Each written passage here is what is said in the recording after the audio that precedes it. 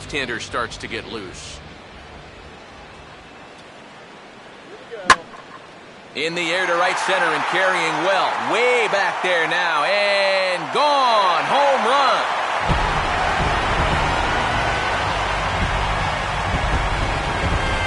So it's a two-run shot to right center. Home run number five on the year. As they pile on, it's now six to nothing.